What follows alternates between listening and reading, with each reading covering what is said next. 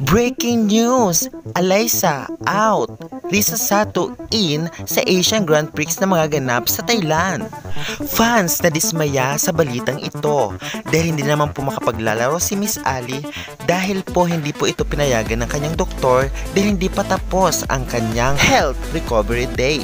Naalala natin na sa AVC Cup 2022 ay hindi po nakapaglaro itong si Alaysa Valdez dahil sa dengue kahit po ito si Risa Sato dahil sa health condition. Kaya naman in-expect at nagpost sa social media na makapaglalaro na ito dahil magaling na itong si Alaysa Valdez at Risa Sato. Ngunit, biglang nagpost itong si J.S. Villar na hindi po makapaglalaro si Alaysa Valdez dahil po hindi po ito pinayagan ng kanyang doktor.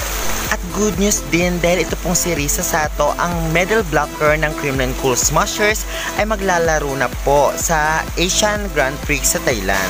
Aasahan natin na alam natin itong si Risa Sato ay happy-happy lang at siya po ang game changer ng kanilang kupunan.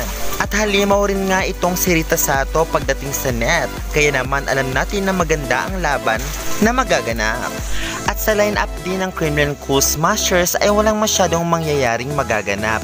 Dahil lamang po ay papalitan lamang po si Mercado nitong si Risa Sato.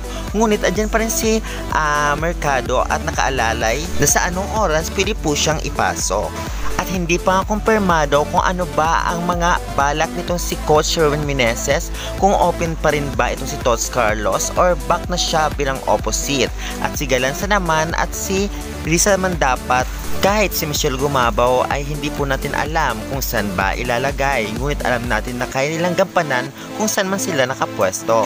At alam natin guys na medyo may laban po tayo dahil sa pinakita nilang performance sa AVC Cup 2022. Ngayon tatlong bansa po ang kakalabanin ng ating kupunan.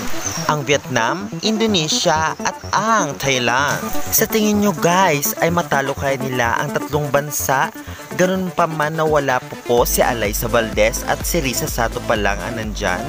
Ano ang masasabi nyo guys? Huwag kalimutan mag-like, comment, and subscribe for more updates about sa volleyball dito sa Pilipinas. Maraming maraming salamat. Bye!